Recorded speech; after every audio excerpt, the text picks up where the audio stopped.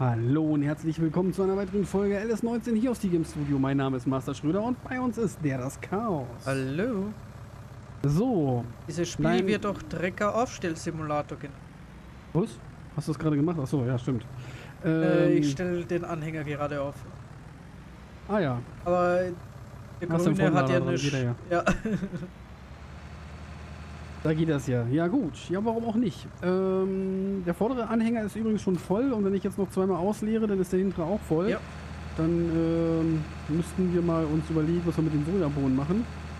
Ich würde sagen, das verkaufen, was denn ja einmal voll ist und den Rest bunkern wir mal ein, falls wir dann doch mal irgendwann zu Schweinen kommen oder sowas. Okay, Ich weiß noch nicht, wie viel Kredit wir bezahlen müssen jetzt über Nacht. Das könnte ziemlich teuer werden. okay.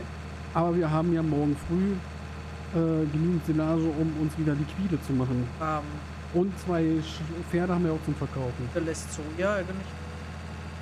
Nein, Soja hinterlässt keinen Strom. Das ist, glaube ich, sogar nicht mal ein Getreide, das ist, glaube ich, eine Hülsenfrucht. Ja, so wie. Was ist da eigentlich der Unterschied zwischen Hülsenfrucht und hier und, und Schoten oder sowas hier, wie bei Erbsen und, und Bohnen? Das gibt's, da gibt es noch einen Unterschied, ne? Ach, ich bin mir auch nicht ganz sicher. Hülsen. Allgemeineres als Schuh. Weil Schuh. Bam. Ach so, ja, ich weiß das auch nicht. Aber da gibt's irgendwie gibt's da mehrere Begriffe für. Hülse ist, glaube ich, das Kammer. Kammer halt. Ah ja. So wie die Erdnuss. Die ja keine Nuss ist. Die Erdnuss ist keine Nuss. Deswegen sind ja Leute, die immer sagen, sie sind auf Nüsse allergisch und dann damit kommen, ja, Erdnüsse, dann, ja, dann bist du nicht auf Nüsse allergisch. Das ist so, das ist wie, wie, wie eine Erbse halt, ne? Okay. War halt mit härteren Ja, und härteren. ja. Ja, einfach, die werden ja äh, länger dran gelassen, dass sie vertrocknen, ne? Also, hm. Ich kann verstehen. Es Nuss. ja. Ich mein, der Name ist schon ein bisschen fehlleitend. Ja, das ist wie die Erdbeere. Die Erdbeere ist nämlich eine Nuss. Erdbeere ist ne. Die Erdbeere ist laut äh, botanischer Definition eine Nuss. Ja, da kommst du nicht So wie drauf, die. ne? Ah, nein, wie der Kürbis, ein Obst. Genau. So ist in der Art alles. So, jetzt werden wir aber spitzfindig hier, ne? Klugscheißer-Modus ist hier gerade an. Ja. Kommen wir zu Wer weiß denn sowas? Kennst du die Sendung? Wer weiß denn sowas? Hier mit Bernhard Da Hohecker hast du und. schon mal. Ja. Warum nicht?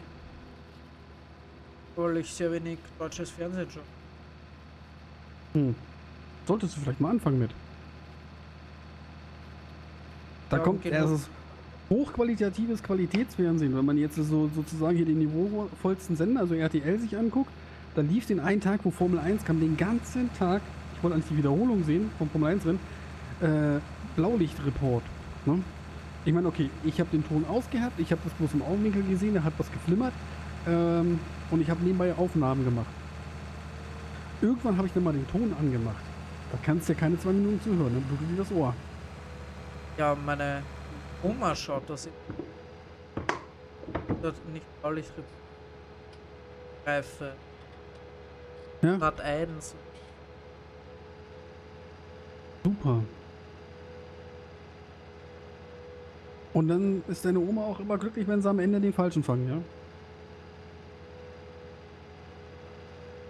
Aber ich glaube, macht sich gar, gar keine Gedanken drüber. Ach so, ja, gut, ja. Das geht natürlich auch. Da gibt Mit der Maus? Fahrt, Achso. wo wie Berlin Tag und Nacht so professioneller produziert, aber halt trotzdem keiner kann dort wirklich schauen. Und ähm, soll irgendwie eine Doku darstellen. Aber man Mhm. merkt halt voll, dass das geschauspielert ist. Obwohl es Mhm. schlecht geschauspielert ist. Und äh, weil du siehst halt ab und zu bei den Kamerafahrten auch die Kameraleute quasi. Also so halt typisch so Doku-Soap mit. Ah, Eine, die ist echt schlimm. Also vom Niveau her ist die auch auf Erden. okay. Wo sich die Lehrerin da mit den Schülern gemeinsam betrinkt. Mhm. Sehr gut. So eine Lehrerin brauchst du auf jeden Fall. Die bringt dir zumindest bei, was guter Alkohol ist. Ich glaube, die Lehrerin schaut zumindest gleich halt wie die Schüler. Ja gut, dass du in so einem Format keine alten äh, Leute sehen willst, das ist ja klar. Die wollen ja alles immer auf Jugendlichkeit, ne? Das siehst du immer ganz schön. Du siehst immer quasi so eine ganze Generation von Moderatorinnen und äh, Schauspielerinnen. Die siehst du am Anfang bei RTL, Pro7, Sat1 irgendwie. Und sofern wie die so 35 bis 40 werden, sind sie mal bei den Öffentlich-Rechtlichen. Äh, Also das ist mir schon mehrfach aufgefallen. ja, also in den Spaten. Oh. Was? Hä? Was jetzt? Der mein Traktor hat auf einmal komplett nach links gezogen. Reifen? Steilhagen hoch. Ja, so hat sich's. Was wird los, ey? Ich glaube, den Du muss musst ich auch reparieren. Passt mehr. Was solltest du dann reparieren, ja? Ja. Aber also in den sind öffentlich-rechtlich. Äh,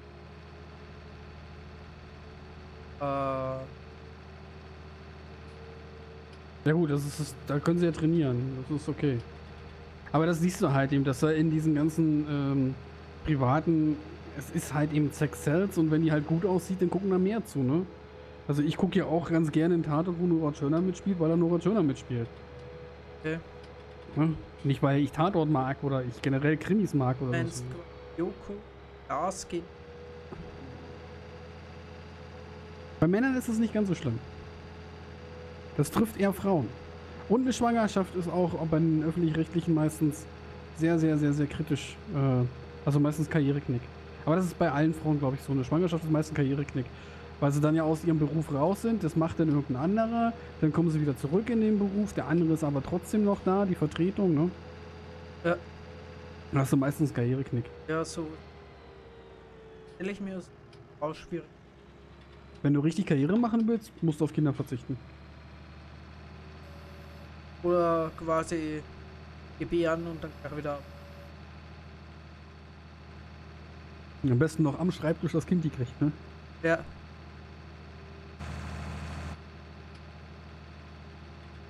Oh, Mittwoch kommt die Glücksritter. Sehe ich gerade hier. Kennst du nicht mit Eddie Murphy? Sagt mir. Den, den, den Film, wo er äh, quasi erst Penner ist und dann wird er noch von so zwei ähm, Börsenmogulen ähm, quasi dazu au äh, auserkoren, dass er die Rolle mit ihren jungen Geschäftsführer tauscht. Die haben ja so einen jungen Geschäftsführer, so einen Snob, ne? So, und dem Snob, den machen sie das Geschäft kaputt und den, den Penner quasi, also Eddie Murphy, der da als Penner auftritt, der wird dann halt eben, kriegt dann seinen Posten. Und dann er wollen sie halt. Nee, nee. Und dann wird halt gezeigt, äh, oder wollen halt eben die Wette damit abschließen, dass, dass äh, also der Penner genauso gut sein kann wie äh, der Dings und so weiter, ne? Also dass, Ja. dass die das nicht unbedingt von der Geburt abhängt, wo man ist, sondern eher vom Umgang, ne? Hm. Wie man sich gibt und so. Also so eine Art, so soll das darstellen. Und der, äh, und dann, die treffen sich dann aber, ne? Also derjenige, welche, dessen Job er jetzt hat, ne? Der ist natürlich ein bisschen sauer und gleitet natürlich auch in die Kriminalität ab, wie sie es erwartet haben, ne? Und äh, naja, jedenfalls rächen die sich dann nachher dann an denen, indem die dann ein Geschäft kaputt machen oder sowas. Ist ganz lustig gemacht. Okay. Da spielt übrigens hier die Scream Queen mit hier. Wie heißt sie? Äh, irgendwie heißt sie nicht. Tommy Lee Jones heißt sie nicht. Jamie Lee Jones? Ach, keine Ahnung. Irgendwie sowas, keine Ahnung. Weiß ich nicht, wie die hier heißt. War eine Scream Queen. Das ist in den 80er Jahren und da war sie ja noch ein bisschen jünger. Die hat auch mitgespielt. Ach, die heißt Tommy Lee Jones, glaube ich auch. Bin mir nicht ganz sicher. Das bringt das immer Hast durcheinander du- mit dem Typen, der so heißt. Ähm, die hat mitgespielt in Freaky Friday auch. Bei Lindsay Lohan. Die Mutter hat sie da gespielt. Hast du eigentlich Kevin Can Wait geschaut? Äh, ja, erste Staffel. Okay. Ich, ich fand die Serie am Anfang eigentlich ziemlich. War ab der zweiten dann quasi ehemalige. Ja. Genau. Von, Ähm, von ähm, King of Queens. Genau. Und finde ich halt, wie sie das gelöst haben. Die haben quasi einfach dann die alte Schauspielerin rausgeschmissen, die alte Mutter. Ja. Da spielt nur die Carrie, Carrie mit. Aber die spielt ja die Tante oder sowas. Also die spielt ja nicht Äh, die, die älteren Kinder. Nein, eh nicht. Sie spielt eh nicht die Mutter. Quasi. Die wird dann so zur Mutterfigur, aber nicht die echte Mutter. Hm. Ja, und lassen einfach dann quasi die echte Mutter einfach so zwischen Staffel 1 und Staffel 2 ist sie einfach gestorben. Ach ja, so auch noch. Ja, einfach, das ist das Erste, was du in der ersten Folge erfährst. Siehst du, wie sie an der Kiste steht oder wie? Nein, nein, gar nicht mal. Du hörst das nur textuell, dass sie tot ist. Mist, jetzt bin ich nicht nah genug dran gefahren. Und das sieht schwierig aus. Hä? Ein, für einen Dollar hast du das Ding repariert? Was jetzt Schaufel. repariert? Ach so. Gerade sagen, was hast du da jetzt repariert?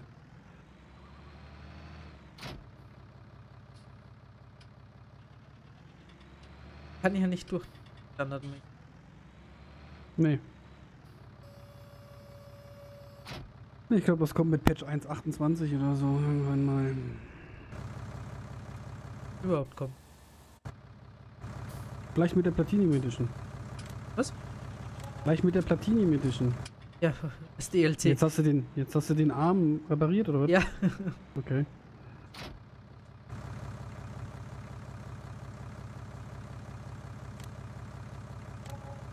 Jetzt den Anhänger. Oh, der war teurer. Ja, das ist ja der Strohanhänger. Der ist ja größer. Also es passt quasi nicht alles ganz rein. Okay. Also ich kriege das jetzt alles abgemäht hier jetzt so in dem, dem Durchgang, ne? Aber Der Anhänger steht nicht- bei mir gar nicht mehr in der Markierung und wird ähm, als Reparatur.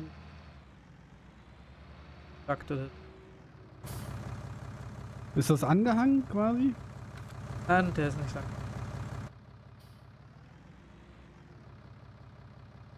Wenn ich jetzt noch wüsste, welche Tastenkombination war das für das hat, aber ist eigentlich egal. Alt, äh, Alt 1.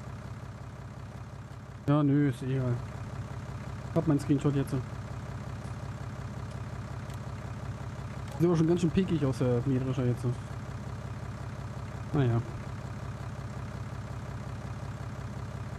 Jetzt bin ich, glaube ich, äh, fünf oder sechs oder Folgen hintereinander nur Mähdrescher gefahren, ne? Ich, ja. Bin ja erst auf dem... nur abgefahren. Na, gemäht und gewendet haben wir zwischen. Stimmt, ja.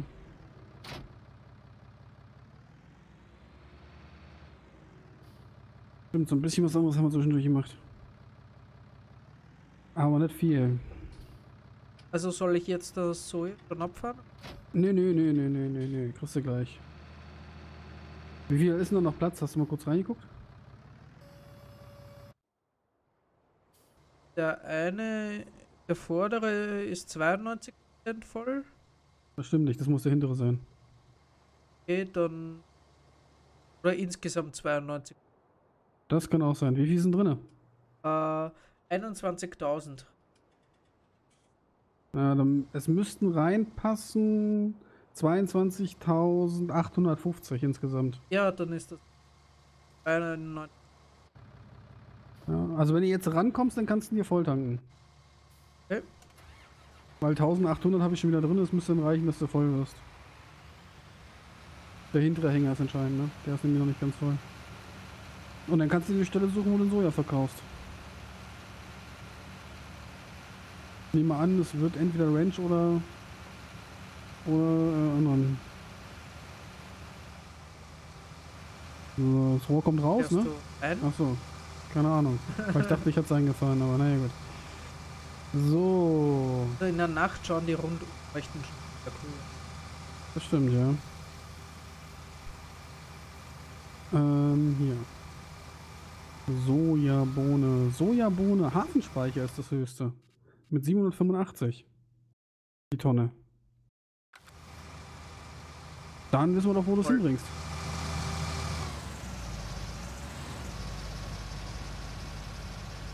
Dann wissen wir doch, wo du es hinbringst. Auf zum Hafenspeicher. Auf zum Atem. Was? Kannst du dich noch erinnern, wie wir Anthem gespielt haben?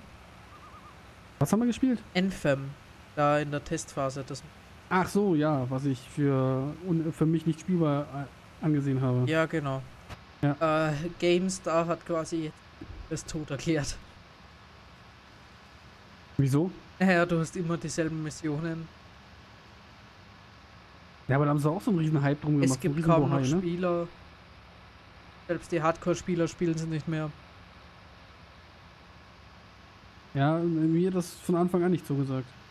Ja, die wollten ursprünglich wollten sie das Spiel komplett anders machen. Oh.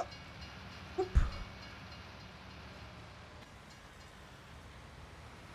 War gerade genau ähm, Bahnübergang, hier quasi gegangen ist. Quasi davor. Konnte nicht mehr abbremsen, bin noch rüber, aber durch zwei Anhänger hatte. War es sehr knapp. Hm. Das rote Licht blinkt schon früher, das, als dass die Schranken runtergehen. Ne? Das, da kann man sich dran orientieren. Ja, ich dachte, es gibt was, aber die gehen halt doch verdammt schnell. Wenn so ein rotes Licht blinkt, dann kann man durchaus auch anhalten. Vollgas. Nee, nee. Wir sind hier nicht in der Formel 1. Du sagt mit einer. Ich dachte, es ist die Formel. Äh, es ist der Formula Simulator 19. Der Formula-Simulator, ja. Schwierig. Na, der kommt bestimmt jetzt auch demnächst raus, ne? Der neue Formel 1-Teil wieder. Okay. Ja, das ist überhaupt. Also es gibt eigentlich keine Rennen. Abhalten. Ja, ich muss sagen, ich war von Grid 2 enttäuscht. Das haben wir ja nur kostenlos gekriegt, ne? Da ja, gab's ja immer mal kostenlos. Ja. Äh, und ich hab's quasi gestartet. Du wirst gleich in ein Rennen geschmissen und ich hatte mein Lenkrad alles dran, ne? Und da könnte man eigentlich von einem Rennspiel erwarten, dass das das Lenkrad mittlerweile alleine erkennt, auch wenn das Grid 2 ist. Äh, aber Codemaster und Lenkräder, das ist gerade äh, nein, und 720 Grad Lenkräder schon mal gar nicht. Ne? Also du hast in den Formel 1 Teilen 13, 14 und 15 konntest du kein 720 Grad Lenkrad gebrauchen. Du musstest da so dermaßen die Lenkung verstellen, damit du damit überhaupt lenken kannst. Okay. Geht sich übrigens aus, dass ich beide gleichzeitig ablade. Das ist doch sehr schön. Bringt doch gerade richtig Schotter gerade rein. Überhaupt nicht. Sehr schön, sehr schön, sehr schön. 17.863 Dollar haben wir verdient. Bisschen was, ja. Hm, das ist gut. Ich habe ja jetzt noch mal so knapp 3000 kriege ich hier zusammen noch mal. Aber ich würde sagen, die lagern wir oben einfach ein für schlechte Zeiten. Oder falls wir dann wirklich mal einen Schweinestall haben, dann haben wir schon die Soja, die eine Ölfrucht quasi, die man da braucht, haben wir dann schon. Und können damit die können damit dann schon mal dann die erste Nahrungskette quasi dann bauen, wenn wir dann mal so weit sind. Aber ich denke mal, da kommen wir bald hin. Also ich denke mal, wenn wir die Schweine, äh, die, die Viecher noch verkaufen, die Pferde jetzt, äh, die zwei, die wir da verkaufen müssen, dann legen wir die zwei, die auf dem Hänger stehen, natürlich rein in den Stall. Ich weiß nicht, wie die an Wert verlieren oder ob die uns sterben oder so, keine Ahnung. Ich glaube, sterben. Nee, sterben geht nicht in dem Spiel, das stimmt. Also er ist ja kein USK 0 mehr oder sowas. Was ist das hier?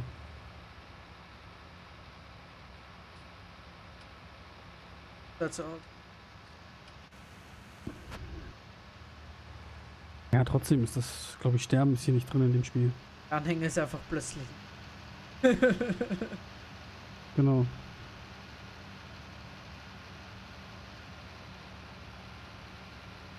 Ist auch nicht gut. So. Ich werde jetzt hier das Schneidwerk noch abhängen, ne? Und dann muss ich hier schon wieder sagen, Was ich immer am Ende einer Folge sage. Die Folge ist zu Ende. Das war eine Folge LS19 hier auf Stieg im Studio. Mein Name ist Master Schröder. Bei uns war der, das Chaos. Und. Bin ich? Ja.